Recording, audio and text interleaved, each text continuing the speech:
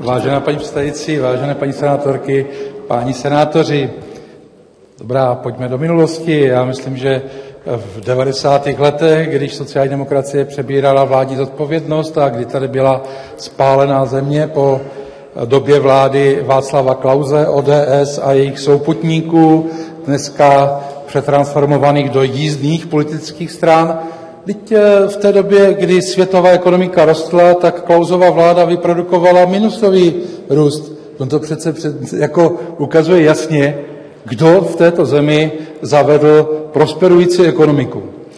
A v, ne, v neposlední řadě je potřeba říct, eh, že samozřejmě, že důchodový účet je součástí státního rozpočtu, je dan zákonem a má své příjmy, má své výdaje, stejně jako každá jiná položka rozpočtová.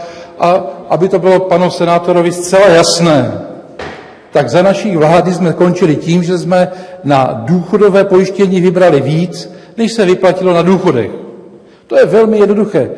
A za vlád ODS, TOP 09 a všech těch ostatních, kteří se tam ještě podíleli, no tak se prostě podseknutím příjmů, těch příjmů do důchodového účtu vytvořil deficit, který samozřejmě je dotován z výnosů státního rozpočtu, z daňových výnosů, které by bylo možné například použít pro prorůstová opatření a nikoliv pro další snižování.